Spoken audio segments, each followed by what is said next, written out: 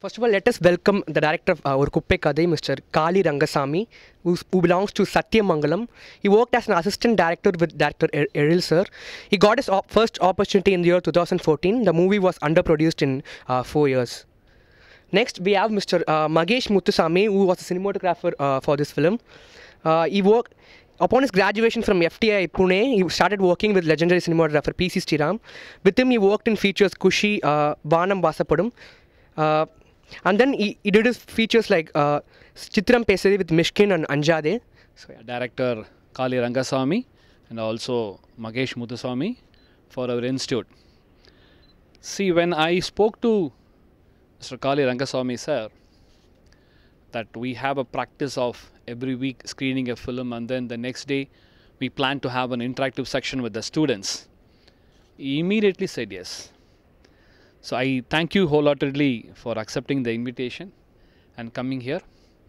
Uh, ஒரு விஷயம் எல்லாருமே நீங்கள் தெரிஞ்சுக்க வேண்டிய விஷயம் என்னென்னா சி சினிமா என்பது அவ்வளோ சுலபமான விஷயம் இல்லை இப்போ காளி ரங்கசாமி சார்லாம் ஒரு டிஃப்ரெண்ட் பேக்ரவுண்ட் பிஎஸ்சி ஃபிசிக்ஸ் படிச்சுட்டு ஒரு சினிமாக்காக இங்கே சென்னைக்கு வந்து அந்த போராட்டங்கள் இருக்குல்ல கிட்டத்தட்ட இருபது வருஷம் he had a big struggle to make his first film so ஒரு விஷயம் என்ன சார் அப்ரிஷியேட் பண்ண நான் நினைக்கிறேன்னா முதல் படம் எடுக்கிறவங்க அத்தனை பேரும் என்ன நினைப்பாங்கன்னா ஒரு கமர்ஷியலாக ஒரு சக்ஸஸ்ஃபுல் கமர்ஷியல் ஃபிலிம் கொடுக்கணும். ஏன்னா கமர்ஷியலாக ஹிட் ஆகினா மட்டுமே தான் உங்களை ரெக்கக்னைஸ் பண்ணுறாங்க ஒரு நல்ல படம் ஒரு நல்ல கதையம்சம் உள்ளமாக இருக்க படம் அப்படின்னா அது கமர்ஷியலி ஹிட் ஆகுதோ இல்லையோ you will be sidelined because இன்றைக்கி வந்து அதுதான் இன்றைக்கி மார்க்கெட் நிலவரம். அந்த நிலவரத்தில் he was very very strong bold enough to take a film like this which is very very necessary இன்றைக்கி இருக்க காலகட்டத்தில் நம்ம தினம் பேப்பரை திறந்தால் இந்த கதையினுடைய சாரம் நிறைய நியூஸ் வரும் உங்களுக்கு. கள்ள காதலன் வெட்டி கொலை கள்ள காதலி வெட்டி கொலை. This illicit relationship immorality which is prevailing the society இப்படி ஒரு கதை எடுக்கிறதுக்கு வந்து பேப்பரில் படிக்கணும் அப்படி திறந்து போயிடுறோம்.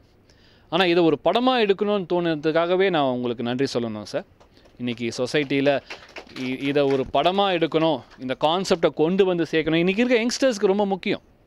அண்ட் மகேஷ் முத்துசாமி சார் நான் திருப்பியும் சார் மூலமாக தான் எனக்கு நம்பர் கிடச்சிது. அவர்கிட்ட நான் பேசினேன்.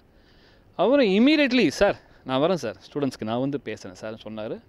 I'm happy that is again you know his background he finish his engineering from PSG college Coimbatore one of the very prestigious college mechanic engineering முடிச்சுட்டு பஜாஜ் கம்பெனியில் ஒர்க் பண்ணிட்டு இருந்தார் சார் அண்ட் ஒரு ஒரு சின்ன ஒரு ஆட் ஃபிலிம் பண்ணும்போது அவருக்கு ஒரு calling this is not my area I want to going to இண்டஸ்ட்ரின்னு அங்கே ஆரம்பித்த ஓட்டம் he joined went and joined in Pune film institute FTII film and television institute of India புனேல போய் அங்கே த்ரீ இயர்ஸ் சினிமோகிராஃபி முடிச்சுட்டு his filmography was excellent Mysskin sir கூட ஒரு மூணு படங்கள் பண்ணிட்டார்.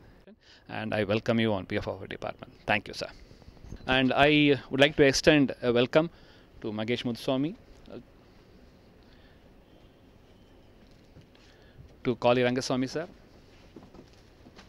வணக்கம். சினிமா வந்து சின்ன வயசுலேயே எங்கள் அம்மா வந்து என்னை வந்து எங்கள் ஊரில் சத்தியமங்கலத்தில் இருக்கிற தேட்டரில் எந்த படம் ரிலீஸ் ஆனாலும் ஒரே ஒரு தேட்டர் தான் இருந்துச்சு எங்கள் ஊரில். அப்போ வந்து எந்த படம் ரிலீஸ் ஆனாலும் எம்ஜிஆர் சிவாஜி படம் வந்து எங்கள் அம்மா வந்து ரொம்ப சினிமா பார்க்குற விருப்பம் உள்ளவங்க. ஸோ அவங்கனால தான் எனக்கு சினிமா மேலே ஒரு ஒரு இன்ட்ரெஸ்டே வந்தது. அப்போ ஸ்கூல் படிக்கும்போது எல்லாமே வந்து சினிமா சினிமா சினிமா டேரக்டர் ஆகணும் சினிமா கதை எழுதுவேன். ஸ்கூலில் ட்ராமா அப்புறம் ஸ்கிட்டெல்லாம் எல்லாம் போகிறது இந்த மாதிரி எல்லாம் நான் பண்ணிகிட்டு இருந்தேன்.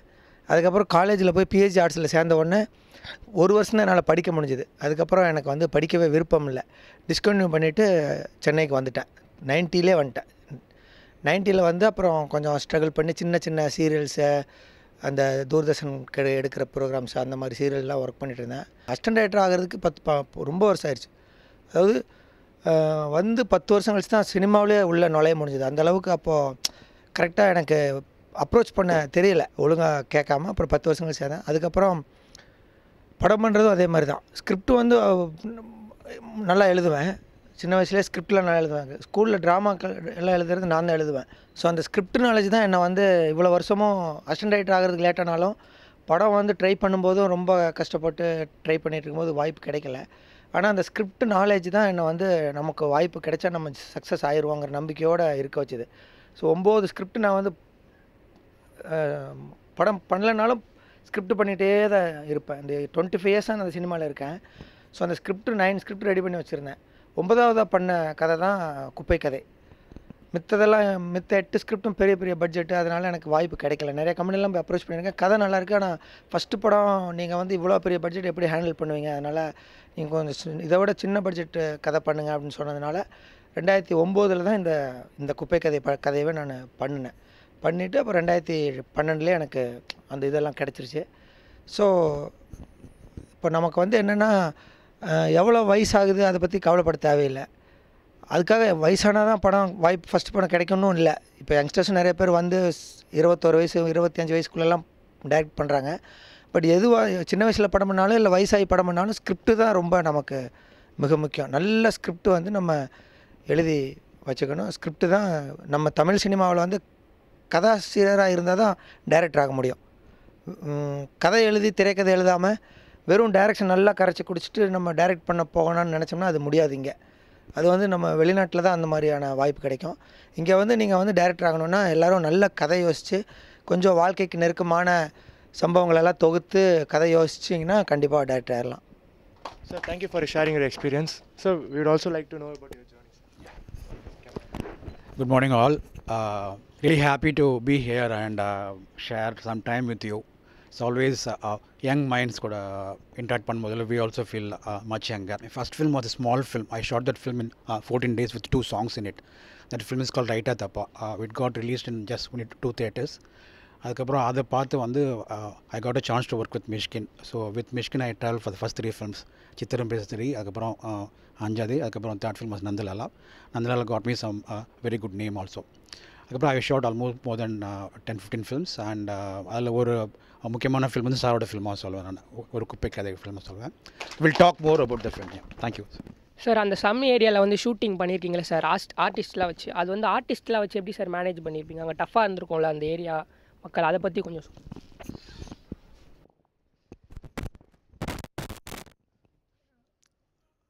சென்னையில் மு இருக்கிற ஸ்லம்லலாம் போய் ஷூட் பண்ணோம்னா பெரிய ரகலையெல்லாம் நடக்கும் பெரிய பணம்லாம் கொடுக்கணும். இப்போ அங்கே இருக்கிற ரவுடிஸு அவங்களுக்கெல்லாம் கொஞ்சம் எக்ஸ்ட்ராவே செலவு பண்ணி அதெல்லாம் நடக்கும். ஆனால் இந்த ஸ்லம் வந்து எங்களுக்கு வந்து ஒரு லக்கில் தான் நல்லா அமைஞ்சிருச்சு. அதாவது இந்த ஸ்லம்மில் போய் ஷூட் பண்ணது வந்து நாங்கள் தான். கிட்டத்தட்ட ரெண்டாவது படமோ என்னமோ. ஃபஸ்ட்டு வந்து ஒரு படம் ஏதோ சின்ன படம் பண்ணாங்க. நாங்களும் ரெண்டாவது படம். நாங்களும் சின்ன படங்கிறதுனால பெரிய ஆர்டிஸ்டெல்லாம் இல்லை அப்படிங்கிறதுனால எங்களுக்கு வந்து அவங்க வந்து அந்த அந்த அந்த சினிமா ஷூட்டிங்குங்கிற அந்த ஒரு இது அவங்க யாரும் கொடுக்கல. அந்த ஒரு ஷூட்டிங்கு அவர் வந்து இவர் வந்துருக்காருங்கிற அந்த ஒரு க்ரௌடு சேரலை.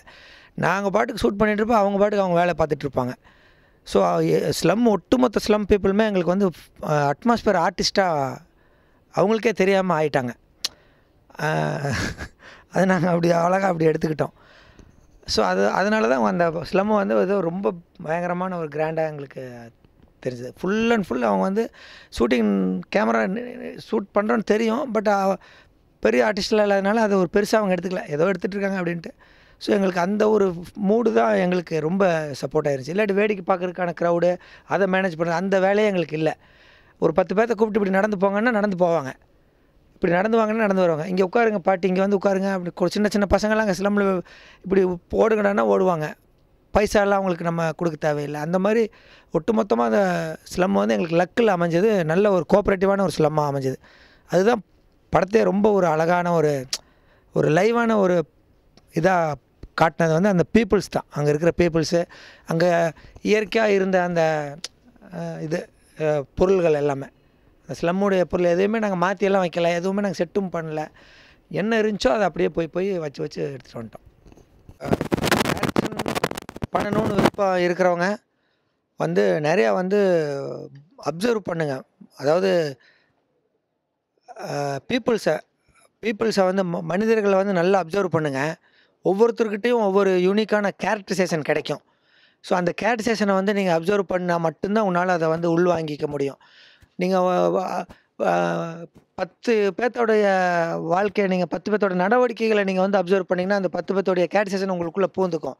ஸோ நீங்கள் கதை எழுதும்போது உங்களை பாதித்த கேட்சேஷனை வந்து நீங்கள் தூக்கி அந்த கதைக்குள்ளே வைப்பீங்க. ஸோ அப்சர்வேஷன் வந்து வாழ் படிக்கிறது ரொம்ப முக்கியம்.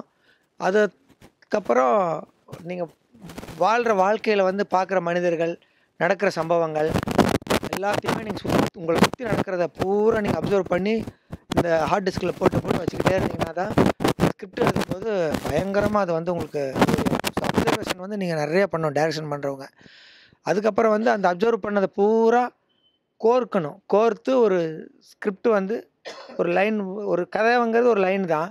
அதுக்கு திரைக்கதை அமைக்கிறதா ரொம்ப ரொம்ப முக்கியங்க. எனக்கு ஸ்க்ரீன் பிளே நல்லா இருந்தால் மட்டும்தான் எந்த ஒரு ஒரு இப்போ சாதாரண சின்ன ஒரு லைன் ஒரு ஒன் ஹவரில் நடக்கிற கதை கதை வந்து பார்த்திங்கன்னா ஒன் ஹவரில் நடக்கும். அந்த ஒன் ஹவரில் நடக்கிற கதையை வந்து நம்மளை டூ அண்ட் ஹாஃப் ஹவர்ஸ் உட்காந்து பார்க்க வைக்கிறாங்கன்னா அது திரைக்கதை தான் ஸோ அந்த ஸ்க்ரீன் ப்ளே வந்து நம்ம யோசிச்சு யோசிச்சு தான் நல்லா சிந்திக்கணும்.